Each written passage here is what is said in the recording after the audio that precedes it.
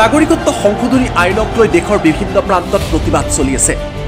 আৰু আনফালে ন্যায়ালয়ত এই বিষয়টোক লৈ চৰ্চা চলিছে।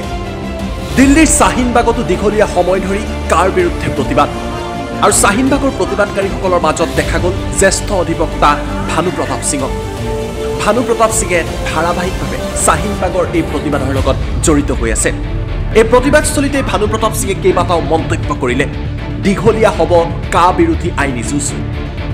সৰ্বোচ্চ ন্যায়ালয়ৰ পাঁচজনীয়া সাংবিধানিক বিচাৰপীঠত ইয়াক লৈ শুনানি চলিব আৰু আইনী প্ৰক্ৰিয়াৰ সমান্তৰালভাৱে শ্বাহিনবাগতো প্ৰতিবাদ চলি থাকিব এই আইনী প্ৰক্ৰিয়া ইমানেই দীঘল হ'ব যে জুলাই পৰ্যন্ত এই শুনানি প্ৰক্ৰিয়া চলি থাকিব বুলি জ্যেষ্ঠ অধিবক্তাগৰাকীয়ে উল্লেখ কৰে जाना है और होना भी है यही कि ये संविधान पीठ को भेजा जाएगा मतलब अब उसे जो सुनेगी वो पांच जजों की बेंच सुनेगी उसका कारण यह है कि संविधान से छेड़छाड़ का मसला इसमें इन्वॉल्व है।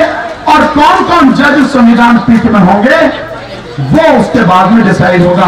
तो आप ये मान लीजिए कि उसके बाद फिर कम से कम चार हफ़्ते की डेट लगेगी। कम से कम। इतनी डेट पे लगेगी। अब एक महीना ये निकल गया। मार्च के महीने में फिर ये एक महीने की डेट जाएगी। और उसके बाद में अप्रैल आ जाएगा। और उस समय वो कॉन्स्टिट्यूशन बेंच जिसकी बात कर रहे हैं संभवतः वो उसकी स्थापना हो जाए और वो इस मैटर को सुनने की शायद शुरुआत करे।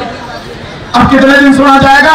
या वो इसमें स्टे देगी या नहीं देगी, क्या फैसला करेगी, वो भी अलग बात है, लेकिन कम से कम उस दिन वो सुनेगी, नहीं कॉन्स्टिट्यूशन बेंच की बनेगी तो जिस दिन वो पहली बार बैठेगी, जहाँ तक, अब तक हमारा अनुभव है सुप्रीम कोर्ट का, वो उस दिन सुनेगी नहीं, उसके लिए कोई डेट देगी।